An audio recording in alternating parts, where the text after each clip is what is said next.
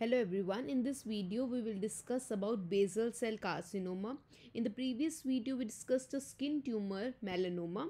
Now going to the basal cell carcinoma. So basal cell carcinoma is carcinoma of basal cells which are derived from interfollicular epidermis or follicular uh, epithelium. So you have this is your interfollicular epidermis. In, in between the follicles you get this interfollicular epidermis and of these the basal cells the lowermost cells the basal cells these are the originating cells. Or otherwise even the follicular epithelium. Here also you get the basal cells and these are also responsible for origination of your basal cell carcinoma. So the other names by which basal cell carcinoma is also known is rodent ulcer. We will know why it is known as rodent ulcer. Also fibroepithelioma of Pinkus it is known as. It is also short from bcc is also very commonly used. So this is the basal cell carcinoma. In basics of basal cell carcinoma a little bit is that it's a locally aggressive cutaneous tumor. It's a skin tumor. It does not involve any mucosal surface. It involves only skin. Whether it is malignant or benign you uh, we say it is a locally aggressive tumor okay? So it's a very slow growing tumor and it rarely metastasizes it's mostly locally aggressive only. It occurs only at the sun exposed sites mostly in the lightly pigmented people mostly seen in the elderly adults.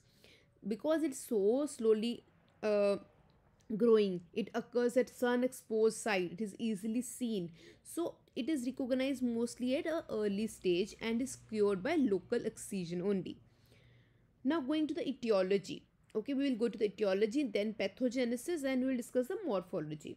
The etiology is uh, sun exposure so uv radiation is there. Okay it's a very important cause. Then ionizing radiation other are like arsenic exposure smoking. Now, another very important etiology of basal cell carcinoma are certain genetic conditions.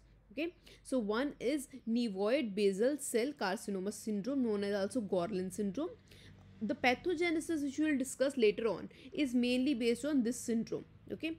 Then other is xeroderma pigmentosum then is oculocutaneous albinism and is Muir-Torre syndrome. So these are the etiology. Now going to the pathogenesis okay?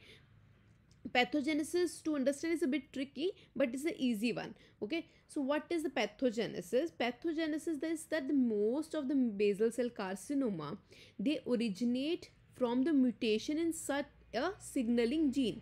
That is the hedgehog signaling gene. There is a mutation in hedgehog signaling gene. So to understand this pathway there is a syndrome that is the Gorlin syndrome okay which was etiology in etiology part also. That is the nevoid basal cell carcinoma syndrome.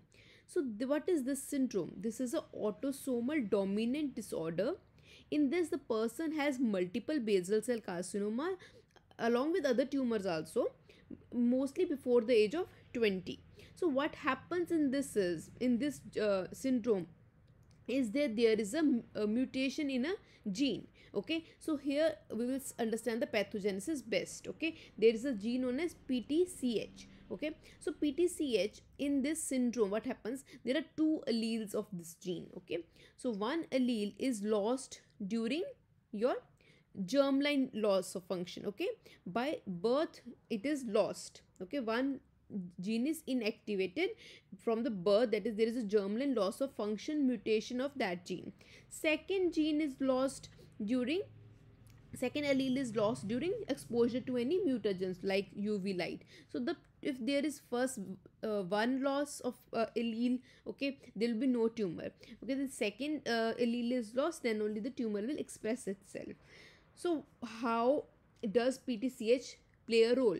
Okay so what happens is the ptch you have your ptch you have one more smo and then you have ssh okay?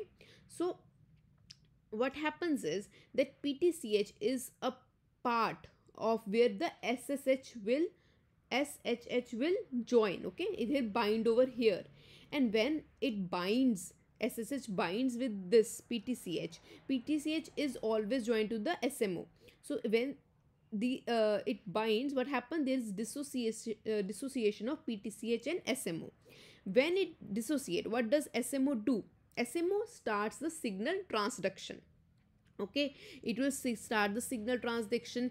It will uh, send the transcription factor that is gli1 it will send and then uh, the the normal gene expression will start and then normal development of the tissue and homeostasis repair work all will take place. This is your normal cell.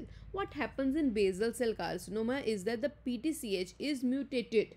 It is so mutated that it does not require binding of ssh for the uh, dissociation. So the smo remains always active okay? When the smo is always active it will do ligand independent signal transduction. That is uh, apart from ssh also it will do the signal transduction then gli1 will be activated and then your cell uh, division will be going unregulated. And this unregulated cell division will lead to basal cell carcinoma. So this is the main main pathogenesis so what is PTCH? PTCH is the protein which is a receptor for SSH that is sonic hedgehog. Okay, this is a component of hedgehog signaling pathway which we already discussed.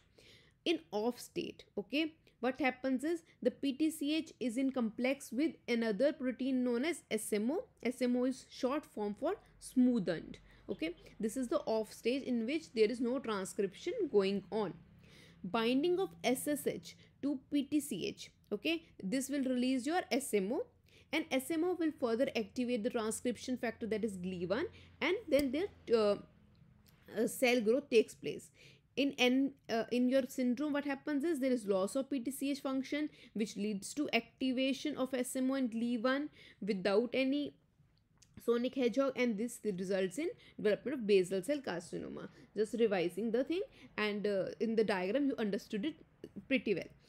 Now going to the morphology. Okay morphology of uh, basal cell carcinoma depends on which uh, stage it is in.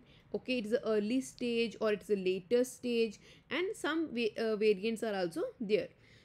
So mostly it uh, grossly how it looks like is it appears as a pearly papule containing certain dilated blood vessels. Okay so here you can see this is your uh, typical picture. Okay it is just a small ulcer a small papule it has one thing it has slightly rolled borders. Okay the borders are slightly rolled. Okay also if it takes place on a later okay advanced stages. Advanced stages can also ulcerate okay and they can cause local invasion of bone or facial sinuses okay. So this is known as rodent ulcer. It's like the rat eats the uh, things local okay. So it is therefore it's known as rodent ulcer okay. It's slowly slowly slowly slowly eating that area okay.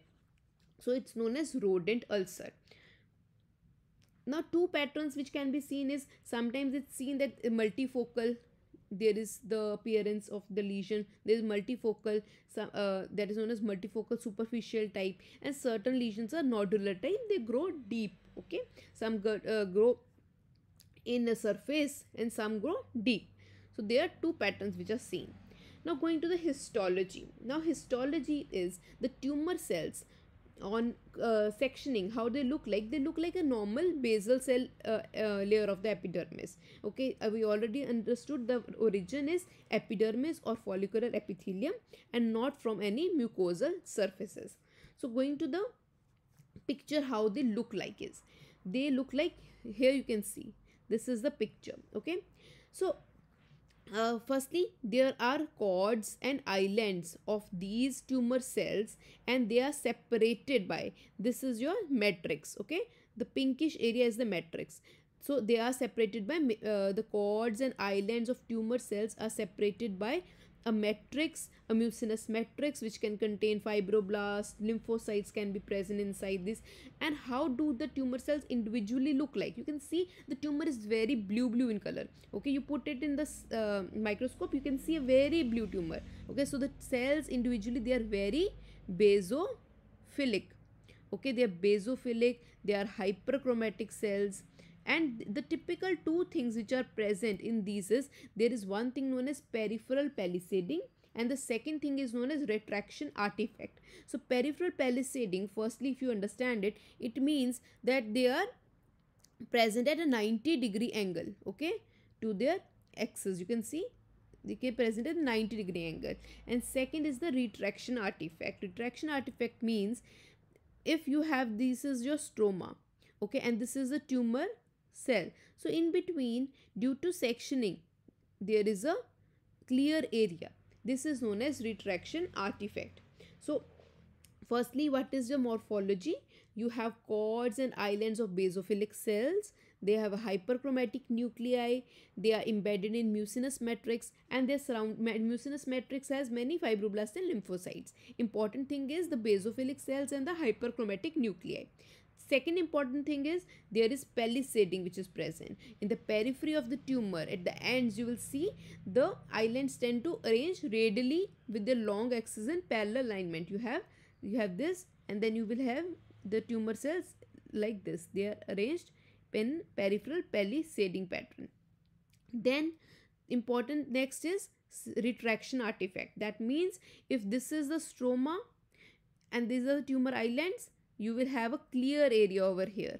Okay this is known as retraction artifact and this is due to sectioning. This is not actually present in the tumor. This is due to the processing of the tumor. Retraction artifact takes place. So here again this is a very good picture. So you can see the retraction artifact present over here and you can see a very blue blue blue tumor. And at the ends if you see the tumor is arranged in the peripheral palisading pattern okay? Even this tumor can contain melanin also okay? Varied proportion some tumor will have melanin some tumor will not have melanin okay? There are various variants we're not going to the details of the variants okay? There are various variants which are present. That is the nodular variant is there then there's adenoid variant micronodular variant infiltrative pigmentative pigmented and ulcerative okay see these are the few variants uh, microscopically. The tumor has a good prognosis and is easily treated by local excision. This was all about basal cell carcinoma. Do like share and subscribe to this channel if you like these type of videos. And ask your any queries in the comment box. Also let me know the future topics you will like me to discuss. Thanks for watching this video. Thank you